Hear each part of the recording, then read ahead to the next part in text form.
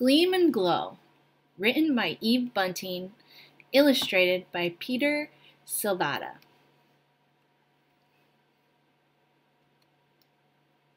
When Papa left to join the underground, Marina cried. To be truthful, Mama and I cried too. I don't want Papa to be underground, Marina sobbed. Shh, little one, Mama said. It just means he's fighting secretly with many of our men, on top of the ground. I gave Marina a pitying glance. She's only five and doesn't know much. I'm eight, and I know a lot. Before he left, Papa had tried to explain things to Marina. Why don't those people like us? She'd asked. I didn't know why either, but I rolled my eyes and pretended I did. We're different from them, Papa told her. They think this is their country and they don't want us living here. But this is our country. I will fight with the Liberation Army to stop them from pushing us out of our own land. He put his hand on my shoulder. Victor, you are the man of the house now. Be a strong help to your mother and then he was gone. I'll be back, he'd said, but I worried. What if he came back and we weren't here? Mama said we would have to leave soon. It was getting too dangerous to stay much longer. Our enemies were coming, sweeping through villages like great brooms, forcing people out and burning their homes. Every day we'd heard distant gunshots and saw smoke rise into the fairway skies. Every day, strangers stopped on their way out of the country to put down their bundles, to share our food, to take shelter under our roof. They told terrible stories of how it had been for them and their neighbors when the soldiers came. They cried as they talked. Their eyes went this way and that, as if they thought the soldiers were just outside our doorstep. When their stories got too terrible, Mama sent Marina and me to the pond for fresh water or to the vegetable patch to look for hidden potatoes. But we heard a lot anyway. Marina started to suck her thumb again, and I wet the bed three nights in a row. Mama held me close. It's all right, Victor. There's no harm done. One day a family came on a tractor. They had a boy my age named Alexa and a dog who could do tricks. Alexa liked showing him off. My father is in the underground, I told him, and I felt proud. Having a father in the underground was better than having a dog who could do tricks. I watched them leave the next morning. We don't have a tractor. I knew that when we left. We would have to walk. A few days later, a man came. His heavy bag was strapped on his back, and he was carrying a bowl with water and two fish in it. He put the bowl on our table, and it seemed to me that all the light of the world was trapped inside that glass bowl. I can't carry them farther, he said. Will you keep them? They're very wondrous fish. Mamma shook her head. We are leaving ourselves in a day or two. Marina jumped up and down. Please, Mama, aren't they pretty? I've just thought up their names Gleam and Glow. The man sighed. Let them stay behind when you go then. An extra day or two of life is important to a fish as it is to us. Here is their food. He gave Marina a twist of paper. Sprinkle a little on top of the water each day. I will, Marina promised. For two days she fed them and talked to them and even tried to pet them with her finger. I love Gleam and Glow, she told Mamma. I love them with all my heart. Three days later, Mamma said we could wait no longer. I wanted to stay till it got warmer, she said softly, as if to herself. The cold will be hard on the little one. I knew she was remembering the pneumonia Marina had last year. We will leave tomorrow early, she said to us. We must make it to the border and the safe country beyond. Is it far to walk? I asked, wishing for a tractor. It is, but we will get there. Please, please, can we take Gleam and Glow? Marina begged. I'll carry them.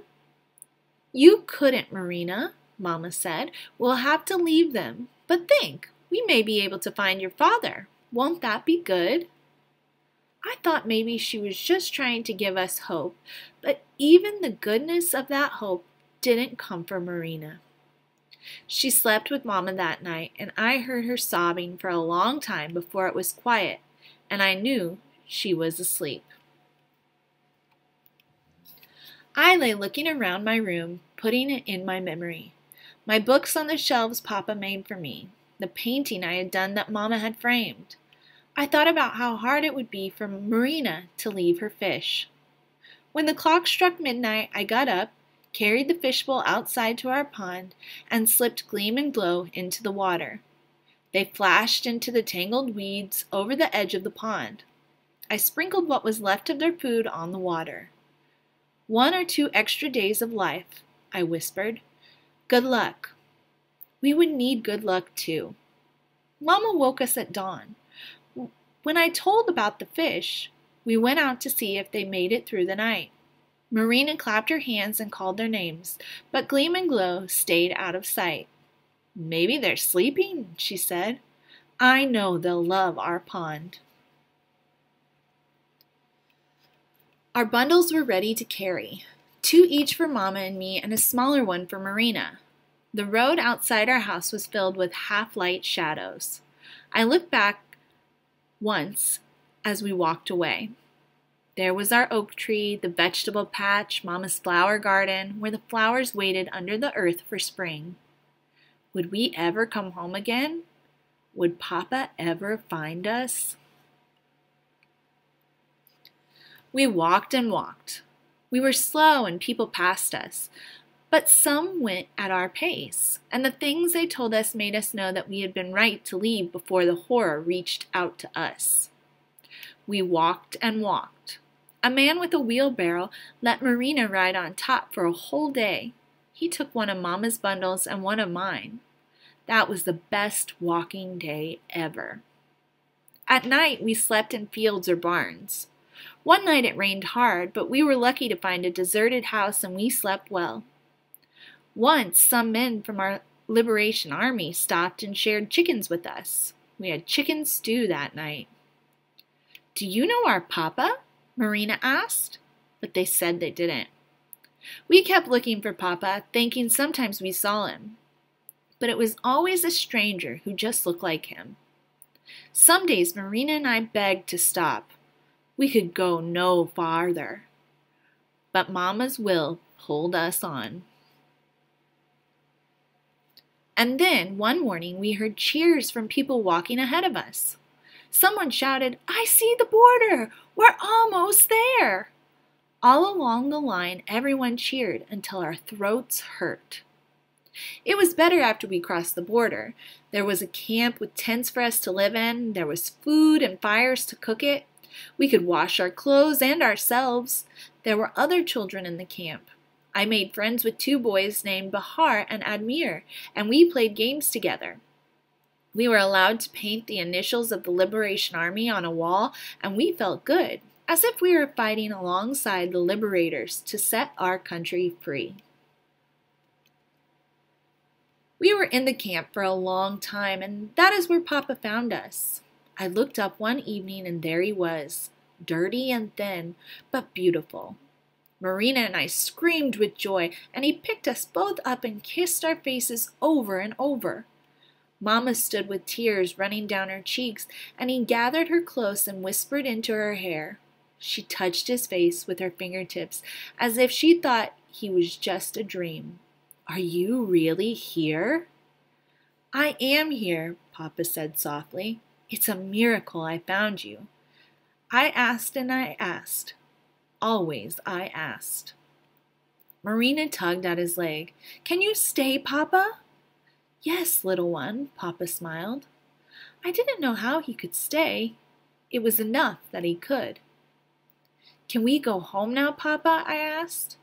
Not yet, Victor. Soon. But it was many months before we were told it was safe to leave. That night, we all danced between the rows of tents. It was a great, joyful party.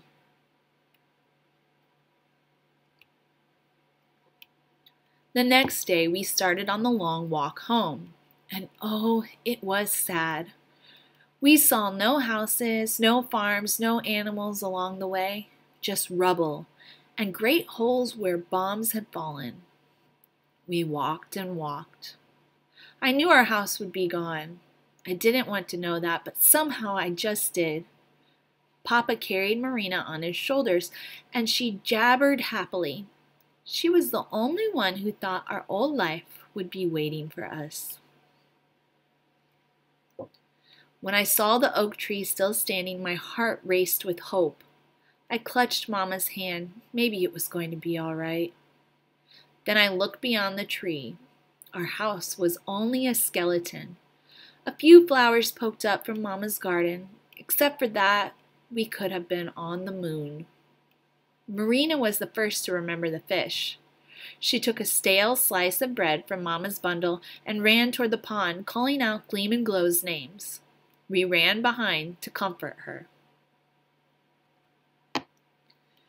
And there was our pond, as shimmery and dazzling as melted gold. It was filled with countless fish. Mamma pressed her hands to her heart. Gleam and glow and their children and their children's children, she said. They found their own nourishment, Papa said.